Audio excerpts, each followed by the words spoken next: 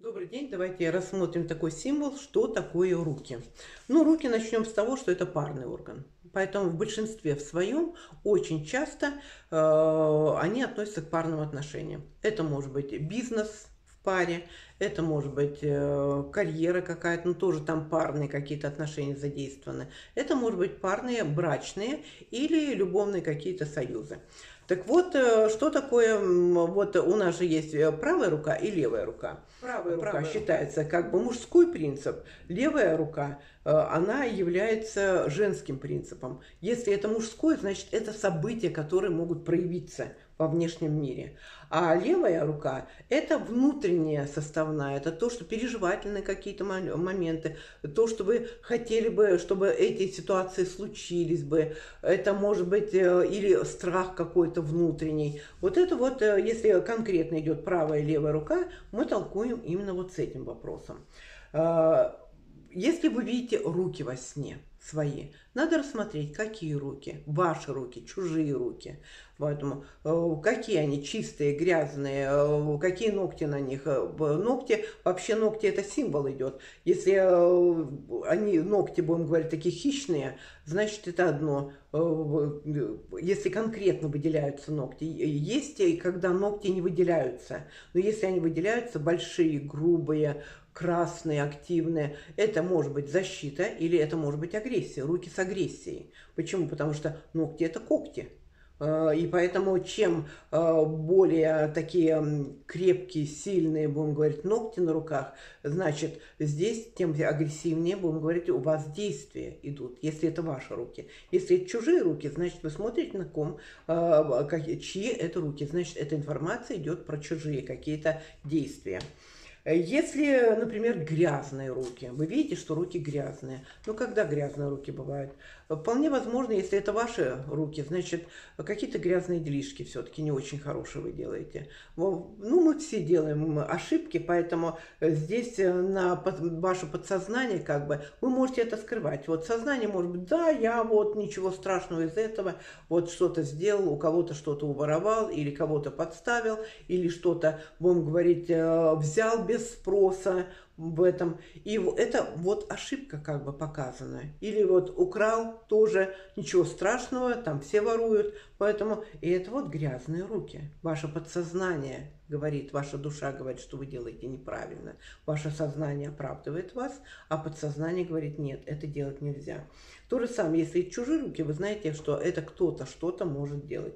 И с таким, если вы видите у этого человека черные руки, гряз, вернее, не черные руки, а грязные руки, значит, э, будьте внимательны с этим человеком. Что-то он занимается не очень хорошими делами. Если большие руки, большие руки – это человек, который может много чего делать. Большие руки – это умелые руки, может быть. Это может быть просто большой, большой человек, большая душа, большие самые. Это может быть и финансовая сторона. То есть, когда человек много чего-то делает, значит, он, он может зарабатывать деньги, преуспеть в карьере. Успех его может жить, э, держать и в работе в том числе.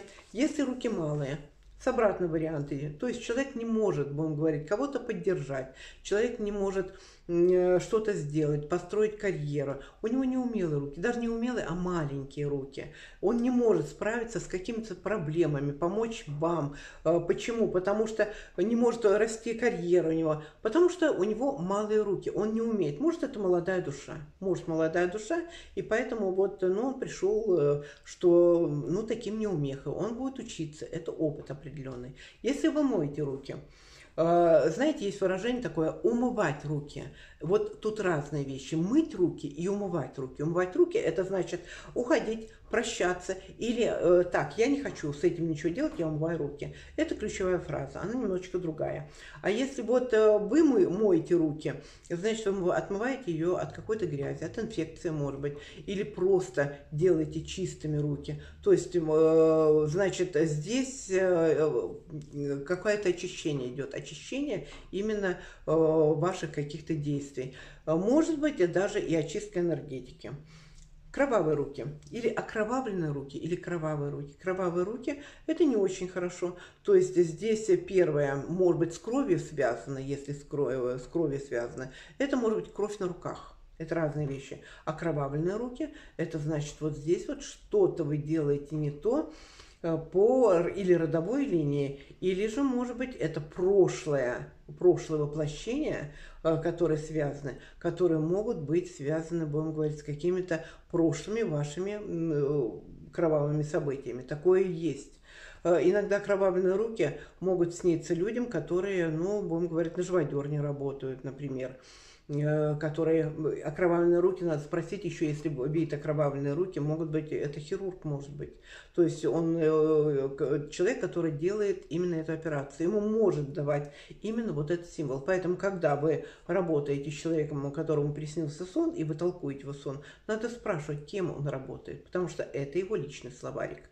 Поэтому Э, поэтому кровь на руках, это может быть связано с родственниками, поэтому, но кровь на руках иногда бывает, что, ну, будем говорить, э, иногда убийство бывает, иногда э, может быть и какие-то события, которые могут, будем говорить, оставить какой-то след кровавый. Кровавый след, это может быть э, кровь на руках, вы можете довести какого-то человека до самоубийства, такое тоже надо быть, на это надо обратить внимание. Почему? Потому что могут указывать, что что вы могли бы где-то ну вот психологически душить человека. Вот психологическое, знаете, есть такое выражение, не выражение, а закон, что доведение человека до самоубийства.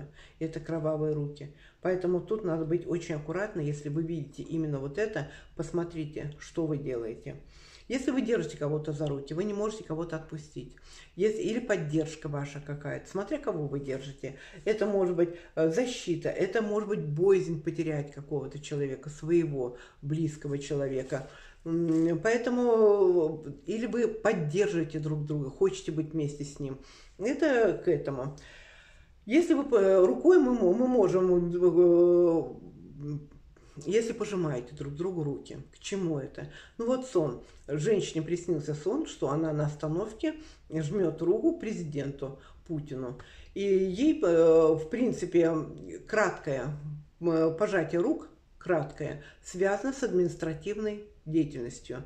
То есть женщина живет в России, и она работает предпринимателем. В этот день она э, ходила по своим делам в администрацию. Ей надо было именно пойти в администрацию. Поэтому пожатие рук – это показано контакт с кем-то, э, к сделке, может быть, к встрече, э, может быть, даже и уважение к другому человеку. Тоже вот именно вот идет как бы э, связано с э, этими событиями. Если грубая рука – Э, какие-то действия вы грубые делаете. Действия, э, может быть, внешние действия, может быть, с кем-то грубо разговариваете, может быть, грубо вмешиваетесь в какие-то дела, может быть, грубо, э, ну, будем говорить так, иногда действия бывают достаточно грубые. Люди некоторые очень нежные. И вот здесь он показывает, что ваши руки грубые. Вы грубо вмешиваетесь в какие-то отношения, парные отношения, или что-то поступаете очень грубо. Потому что я сказала, что это парный орган. Это парнуг, э, и поэтому вот в этом отношении надо посмотреть, что такое рука. Сильные руки. Сильные руки – это когда человек сильный, поддержка сильная, вот вы видите сильные руки, человек может принять самостоятельное решение. Э, с этим человеком можно что-то делать. Это надежный человек, он э, делает надежные вещи, он умеет это делать, и он всегда вас может поддерживать. Поэтому с таким человеком, если у него сильные руки, можно иметь дело. А, если рука инвалида, а, рука, видно, что она, ну, будем говорить, не очень а, правильная. Ну, как правильно? Инвалида, рука инвалида. Здесь э, разные толкования могут быть. То есть человек, может быть, что-то делает не так. Почему? Человеку, может быть, требуется поддержка. Почему? Потому что, когда инвалид, это требуется поддержка. Значит, или это человек сделал что-то не то, и у него может быть что-то, а, будем говорить, какие-то события могут проявиться. Или же просто тут надо обратить внимание, что человек может прийти к инвалидности. Может прийти к инвалидности. Да, э, человек смотрит на свою руку, она у него как инвалид. Поэтому здесь надо обратить внимание на процесс, который происходит в организме. Иногда бывает э, специализация человека, профессия, которая связана с руками.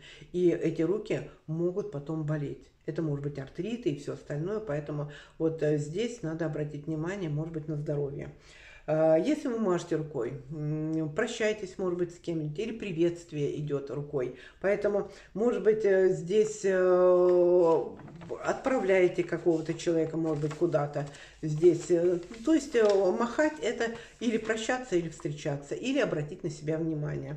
Волосатая рука. Что такое волосатая рука? Волосатая рука – это ну, помощь э, человека, который везде может быть проход, э, может у него, знаете, вот есть такая, у него волосатая рука, то есть у него есть поддержка где-то в этом отношении. Значит, э, это как ключевая фраза «волосатая рука». Но есть женщины, это опять личный словарик, которым нравится именно вот волосатые руки. Поэтому это сексуальный аспект есть э, сексуальный аспект, и волосатый это энергия, энергия идет. Волосы это которые придают лишнюю энергию рукам. Э, и поэтому женщинам некоторым нравятся именно волосатые руки. Это надо узнавать и толковать именно в эту, э, задавать вопросы, толковать в эту область. Если сломанная рука, сломанная, значит человек пережил какой-то процесс, Э, которого его где-то обломали. Э, то есть он что-то делал, но его обломали в этом. И э, действия, будем говорить так, не получились.